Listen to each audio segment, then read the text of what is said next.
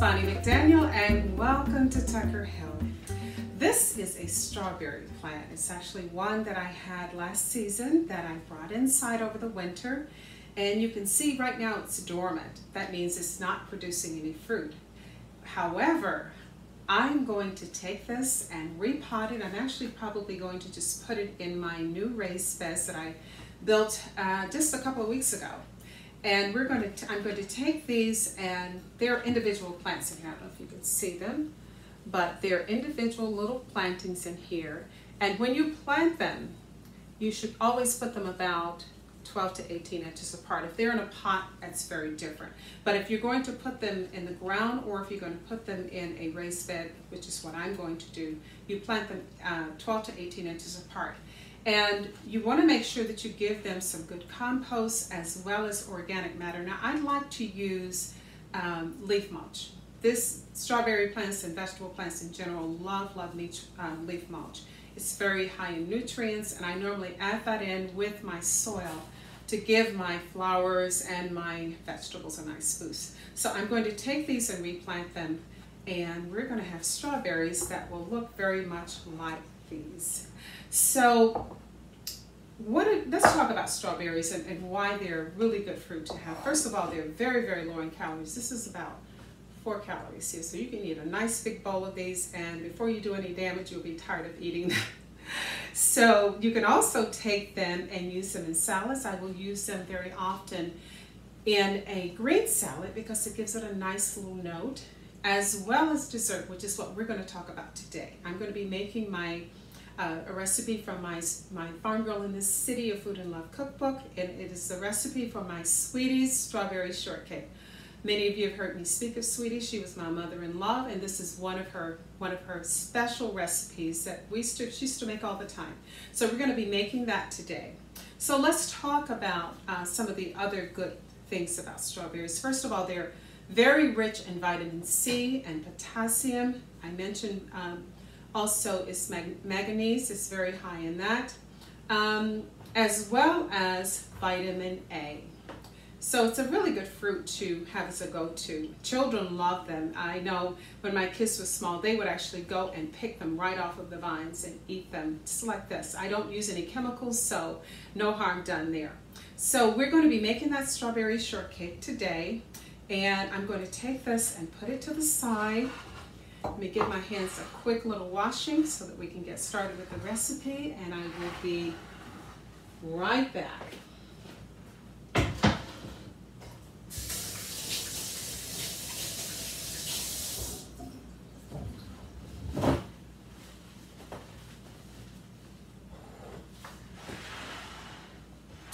Okay, so we're gonna get started. I have all of my ingredients here. And let's go over what's going to go in the strawberry shortcake. First of all, you're going to need two and one half cups of AP flour, all-purpose flour, meaning that it has no salt, nor does it have any baking uh, powder in it. So we're going to do two and a half cups of that two and one and one half cup, I'm sorry, one and one half tablespoon of baking powder, a teaspoon of salt, one stick of unsalted butter, so this is actually one half cup of unsalted butter, three quarters cup of whole milk, one half cup of granulated, um, organic granulated uh, sugar, and you can see that I have the granulated sugar here. As well as for the whipped topping, you're going to need another half cup of that sugar as well. And here's my secret ingredient. I love rose water, and this is going to go into the strawberries.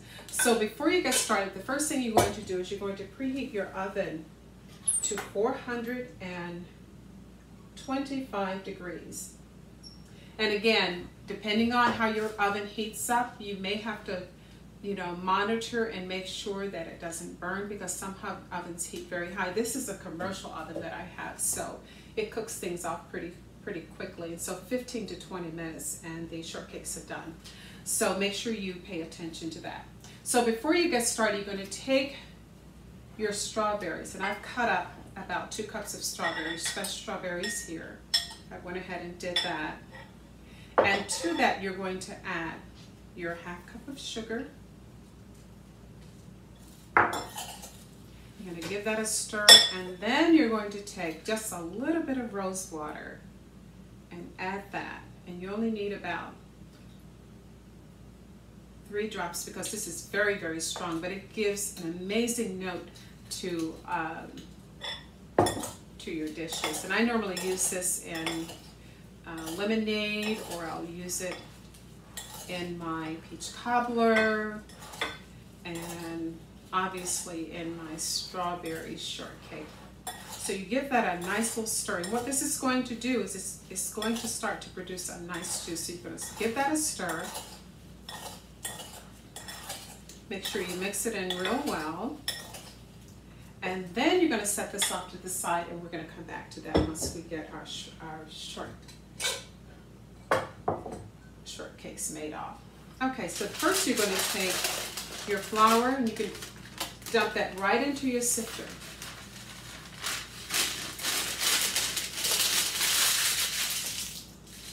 You're going to add your baking powder and your salt. Set that off to the side.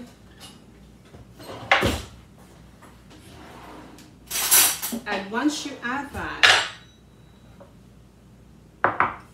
you're going to give this a nice little set into a large bowl.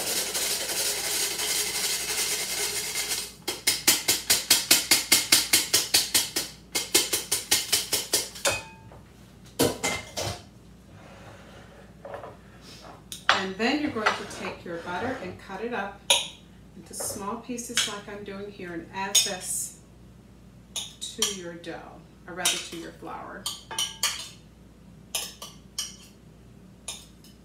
And this is a very, very easy recipe. It doesn't take that long to make.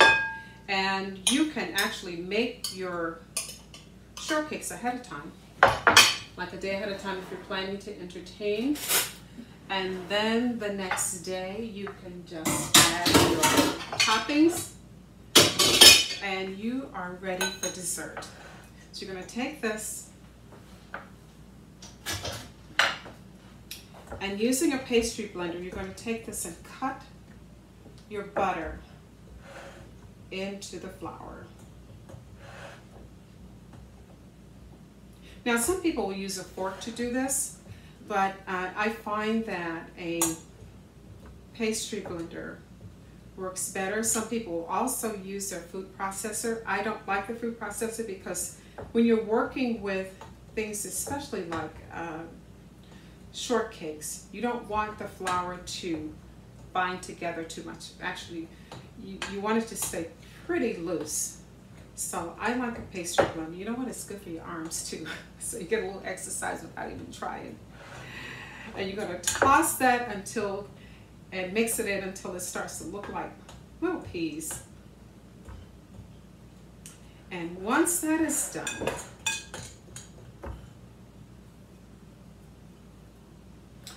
then going to take your milk and you're going to mix it in and give it a toss. You don't, again, you, you're not going to be mixing per se, but a, rather a nice uh, toss just to make sure you get everything moistened so that it binds together. The thing about working with a recipe like this is you don't want your recipe, recipe to produce any gluten and that's what happens if you are moving it too much and working the dough too much. So you want to take this and gently toss it around in the bowl like so. Give it a toss and make sure all of your ingredients are nice and moist. But again, not to work that dough too much, just enough to moisten it like I'm doing here.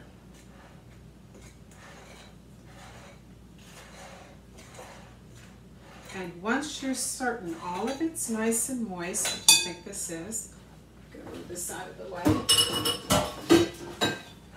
You're then going to dust your cutting board with a little flour.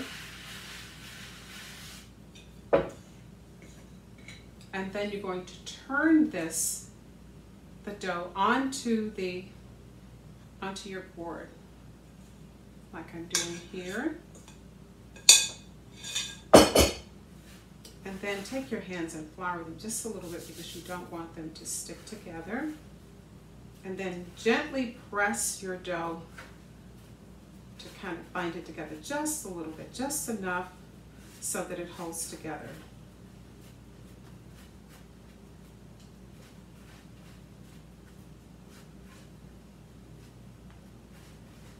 And again, don't overwork. Although I'm moving this a little bit, I'm not overworking it. I'm just doing it just enough to make certain that everything binds together nicely.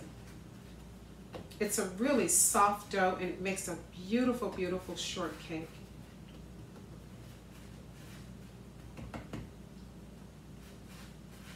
Now I know there are cakes, actual cakes that are also strawberry shortcakes. This is a an old-fashioned strawberry shortcake that, again, I got this from my sweetie who used to make these. And you know, you can take this shortcake and use it with other fruit as well. You can use it with blueberries or raspberries. It's not necessary that you just relegate it to just strawberries, but you can kind of get creative and do with it what you like. Okay. Just a little bit over my baking sheet. You're gonna take a baking sheet like I have here. You're gonna line it with a piece of parchment. And you're going to pat the dough. You're not going to take a rolling pin and roll this out because again, you don't want to overwork this dough. Uh, this dough.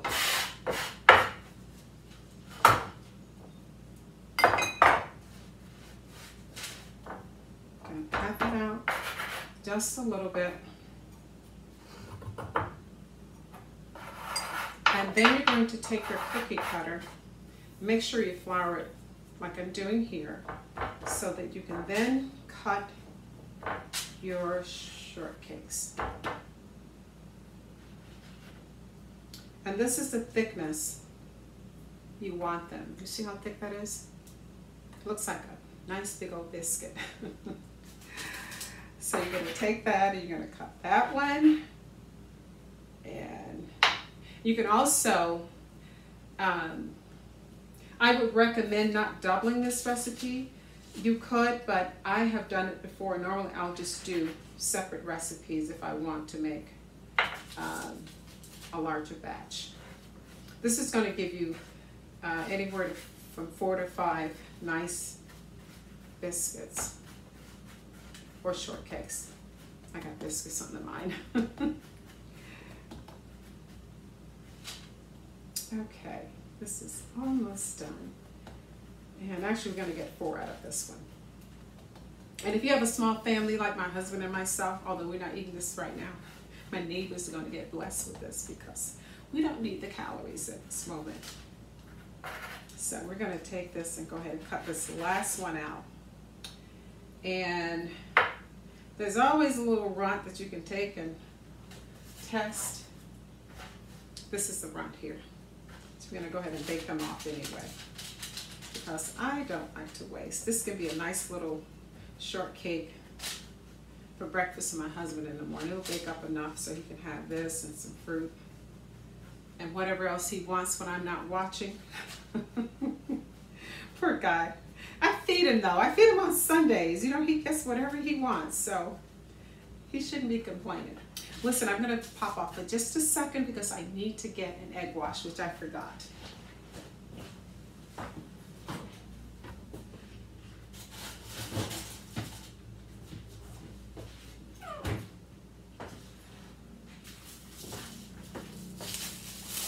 You guys know that I bake things off ahead of time, so this was actually an egg wash from the batch that I made up on yesterday in preparation for today. So once you do that, you're going to take the egg and give it a nice little beat, and then you're going to just brush the tops of the shortcakes with the egg wash. This is going to give it a nice, nice finish. You just lightly brush just the tops of your shortcakes.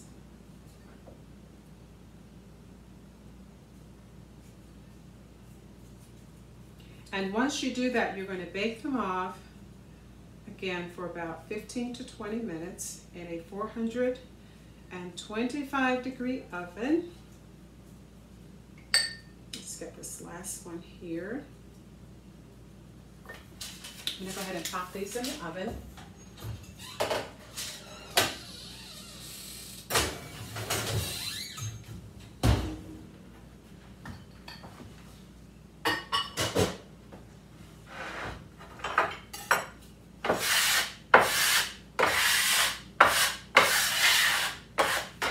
And then the next thing that we're going to do, clean this up just a little bit.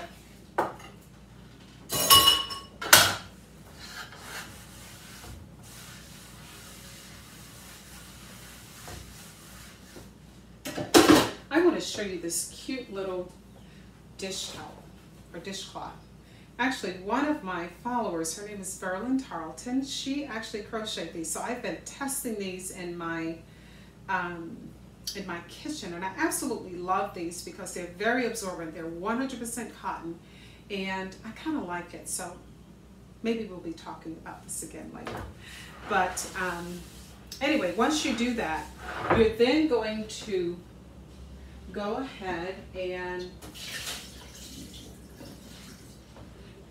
we're going to take our whipped cream because the next thing we're going to do is assemble these. We're going to take our whipped cream and you need about three quarters of a cup of whipping cream. And you want to make sure it's nice and cold. You're going to take that and add your sugar. And I don't like mine really sweet. In my cookbook, I talk about half a cup of sugar and you can do it however you like. You can also use a, a um, stand mixer to make the whipped cream, but I'm going to show you how to do it without.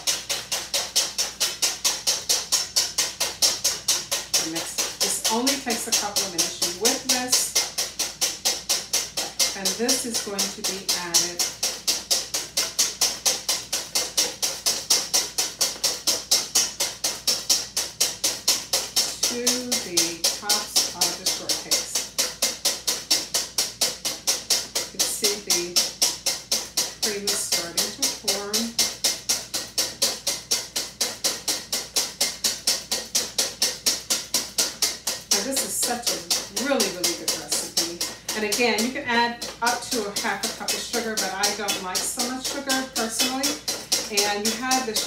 rose water and the strawberries. I kind of like to have all of my flavors kind of stand on their own.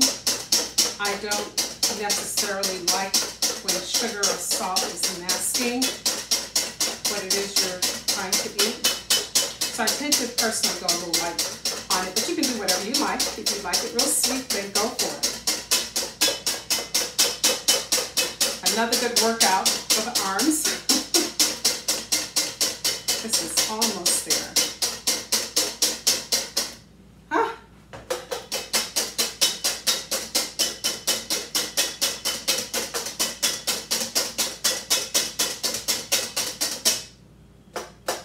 Almost.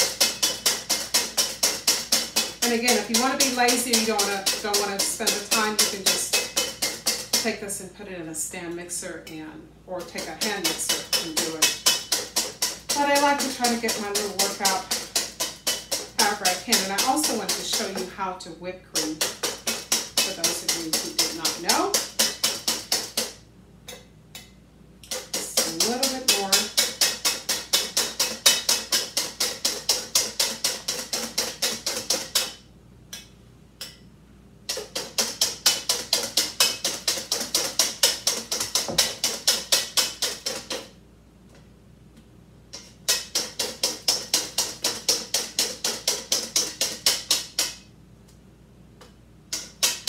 one more whisk and I think we're there.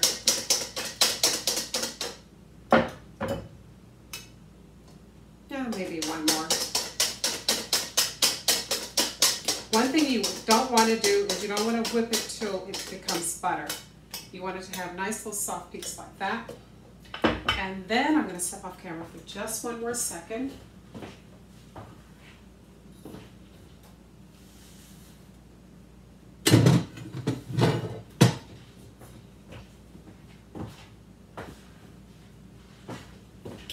Now these are shortcakes that I baked off earlier. You can see them here. And what we're now going to do is we're going to put the shortcakes together. Let's see, I think I'll do it that way, that way you can see what it is I'm doing. And to assemble them, you just take your, take a knife and you split them like so. And you're going to take them. I'm putting this on these, this really pretty dish, one that I really, really like uh, because it presents nicely. I'm just going to do two so you can see how we put them together. Okay. And then you're going to take your strawberries. Oh, this is nice. You see it's already all that nice juice. And the longer you let it sit, the more juice you're going to get. As you can see. Isn't that pretty? And we're going to take this now and assemble our shortcakes. This is really, really easy. And if it's a little messy and you're putting it on individual um, dishes, it's fine. It's even nicer. So you put about maybe two tablespoons per shortcake. And I'm being a little messy here, but messy is good, right? and you take that and you're going to take your, there's one, and there's the second one. And if you're putting it on an individual dish, you can just add some strawberries around like that. Because it looks pretty.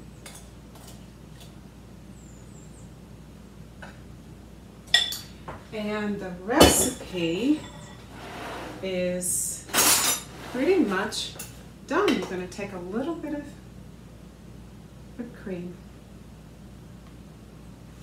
and put it like so.